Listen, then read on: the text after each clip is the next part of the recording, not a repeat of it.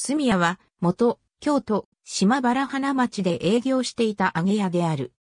建物は国の重要文化財に指定され、1998年より住屋もてなしの文化美術館として公開されている。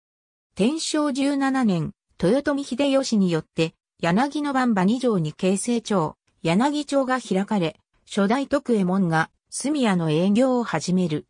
慶長7年、柳町は突然の移転を強いられ、住屋も六条三筋町へ移転を余儀なくされた。さらに、寛永18年、再度柳町は移転となり、住屋は二代目徳右衛門によって、現在地の島原へ移された。なお、六条三筋町の所在地は、現在も住屋が所有している。明治5年まで営業した後、お茶屋に編入された。昭和60年まで松の間を宴会に使用。昭和27年、島原が開かれて以来現存する唯一の揚げ屋の遺構として国の重要文化財に指定された。平成元年より1日30人限定で内部を公開していたが、平成10年4月には、住屋もてなしの文化美術館が開館し、一般に公開されている。2014年現在、加盟は14代目に継承されており、東大が館長を務めている。現在一般公開は1階部分のみ。損傷部分の保存を考え、2階座敷見学には事前予約が必要となっている。所蔵品は約1万1000点に上る。隣接する山陰本線高架部分の騒音をめぐり、JR 西日本との間で長らく軽装状態にあったが、平成20年にコンクリート製の高架に砂利を入れる等の対策を取ることで騒音の軽減を図るという内容で和解に達した。江戸時代中期には島原でも徘徊が盛んになり、当時の住屋当主は、与謝武尊を死として招いている。その武尊がここに残した、紅白梅図は、国の重要文化財として、当美術館に展示されている。他、天明年間前後に制作された、丸山王居、石田雄帝などの襖絵も残っている。幕末には、草加玄瑞、西郷隆盛などの勤王の志士が密議を交わしたり、豪商からの資金調達のために接待に使用されていた。また、新選組もここでの遊興を楽しんだ。特に、芹沢家元の関わり合いは深く、文久3年6月ここで暴挙を働き、その際にできた刀傷が今でも残っている。また、芹沢が殺害される直前に、ここで主演を開いている。住屋の前には、長州藩士、草加玄瑞の貢ぎの住屋、新選組刀傷の住屋の石碑が建てられている。邸内には名物の画竜松という枝の長い松が生えていたが枯れてしまい、現在の松は二代目にあたる。現役時代を通して、揚げやお茶屋であったため、太夫や芸儀を抱えていたことはない。しかし、現在、住谷春秋会会員向けの住谷鑑賞会の開催時のみ、江戸時代後期の太夫の衣装をつけた八千代太夫と呼ばれる女性がお茶のお手前や舞を披露している。入り口角屋の建物は木造2階建て、屋根は切妻造り、三河原、こけら及び銅板吹き。揚屋町の通りに東表して立つ。通りに面する表棟と中庭を挟んで西側に立つ奥棟からなり、両者は玄関部分で接続して一棟となっている。表棟は格子造りで、間口31.5メートルに達する。建立年代は、古い部分は住屋が六条三筋町から移転してきた、寛永18年頃とみられるが、その後たびたび増改築を経ている。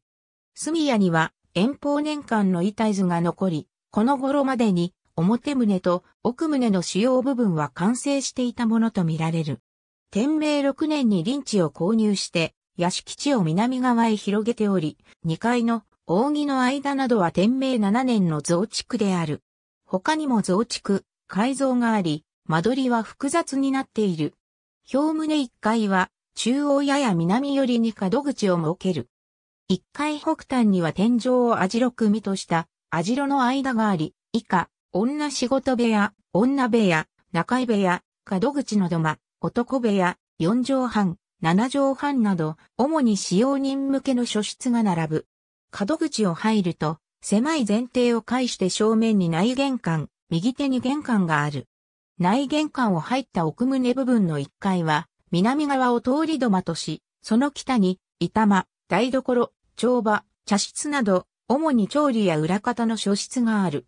台所の北には廊下を挟んで客室と中庭がある。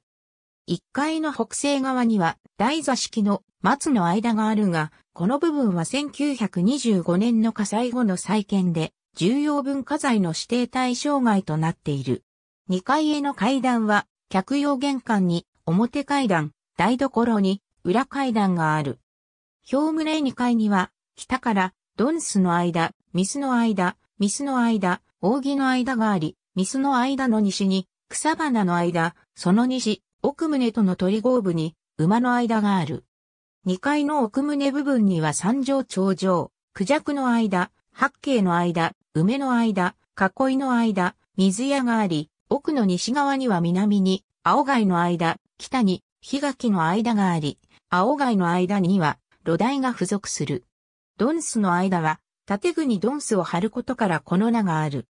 ミスの間は、襖絵にミスを描くことによる命名で、この部屋は建物内でも最も古い関営期に遡る部分とみられる。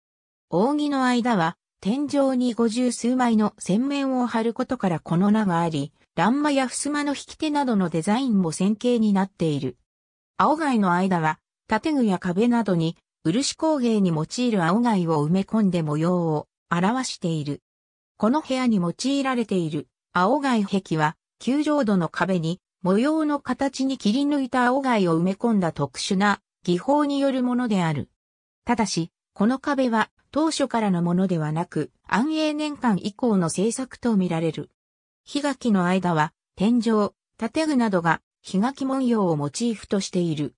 以上のように、隅屋の各部屋は、装飾や衣装に変化をつけ、数少ない上げや建築の異例として、文化的価値が高く評価されている。